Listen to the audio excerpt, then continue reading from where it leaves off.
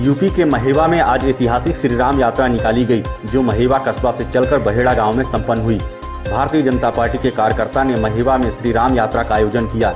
यात्रा को सदर विधायक सरिता भदौरिया व भरथना विधायक सावित्री कठेरिया ने श्री राम की आरती करके रवाना किया। विशिष्ट अतिथि भाजपा नेता हरनाथ सिंह कुशवाहा व गोविंद त्रिपाठी ने भी झांकी की आरती उतारी। यात्रा में हज़ारों कार्यकर्ताओं के साथ दोनों विधायक, दोनों विशिष्ट अतिथि हज़ारों कार्यकर्ताओं के साथ करीब तीन किलोमीटर पैदल चलकर गाँव बहेड़ा शिव मंदिर पहुँचे। इस दौरान यात्रा का अनेकों जगह गर्मजोशी से स्वागत किया गया। जय श्री राम, जय घोष के साथ साथ कार्यकर्ता विधायकों के सम्मान में भी नारे लगाते हुए चल रहे थे। बहेड़ा गाँव में सदर विधायक सरिता भदौरिया ने कहा, हम काफ़ी समय बाद आज आपके गाँव आ पाए हैं। आज आप लोगों के बीच बैठकर अपनापन महसूस कर रही हूँ। वहीं क्षेत्रीय विधायक सावित्री कठेरिया श्री राम के चरित्र पर प्रकाश डालते हुए कहा कि ऐसे आयोजन होते रहना चाहिए। जिनसे हमें प्रेरणा मिलती है वहीं भाजपा नेता हरनाथ सिंह कुशवाहा ने श्री राम को आदर्श माना है। महिला विकास खंड के।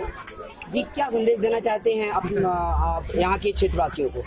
क्षेत्रवासियों के आज के श्री राम शोभा यात्रा से संदेश देना चाहते हैं कि मर्यादा पुरुषोत्तम श्री राम जी के आदर्शों पर सभी लोग चले और उनके मार्ग